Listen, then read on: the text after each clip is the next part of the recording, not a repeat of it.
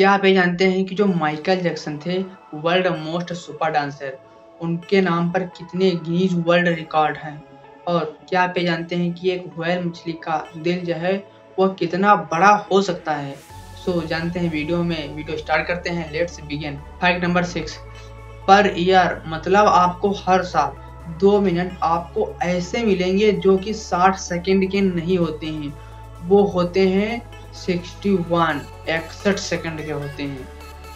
जो कि ये एक सेकंड और दो सेकंड का फ़र्क होता है इसीलिए हमें पता नहीं चलता है। बट इस पूरे वर्ल्ड में वन ईयर में दो, दो मिनट ऐसे होते हैं जो कि वो इकसठ सेकंड के होते हैं।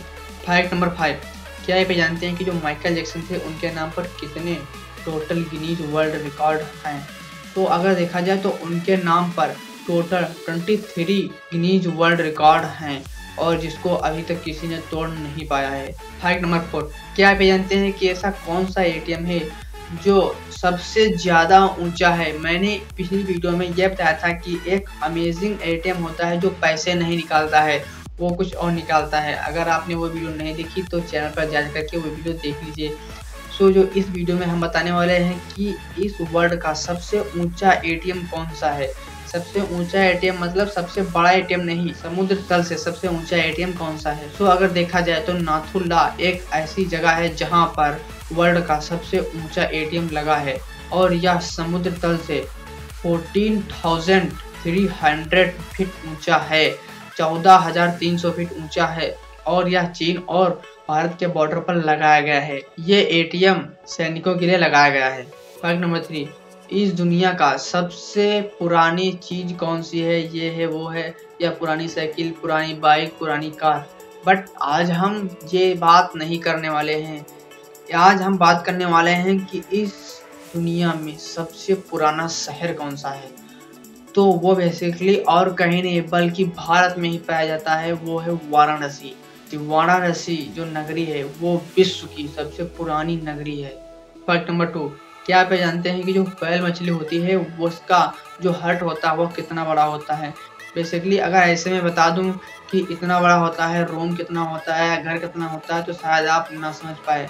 बट मैं आपको एक ट्रिक बताऊँगा जिससे आप गेस्ट कर सकते हैं कि हाँ बैल मछली का जो हर्ट है, वो इतना बड़ा होता है।